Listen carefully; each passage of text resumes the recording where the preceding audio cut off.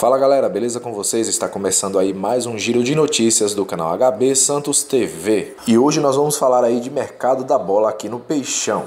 O Santos tem interesse em Thiago Neves do Cruzeiro e estuda envolver Bruno Henrique, alvo dos mineiros, em uma troca. O meia também está na mira do Corinthians. O Cruzeiro já se manifestou publicamente e é quem tem sido mais incisivo no desejo de contratar Bruno Henrique, que é um dos jogadores do Santos mais assediado no mercado. O Flamengo foi o outro a sondar o atacante. O Santos vê em Bruno Henrique uma possibilidade de gerar caixa. O presidente José Carlos Pérez chegou a falar em fazer leilão ou de trocar por um jogador de peso, caso de Thiago Neves. A diretoria Santista está atrás de um meio-campista no mercado e vê no Cruzeiro uma ótima oportunidade de negociar, apesar de aguardar acerto com o técnico. Vale lembrar que o vice-presidente do Cruzeiro, Atair Machado, afirmou que Thiago Neves não é negociável. Na minha humilde opinião, o Santos deveria tentar trazer novamente Zelarayan do Tigres do México, além de tentar também a contratação de Iturbe.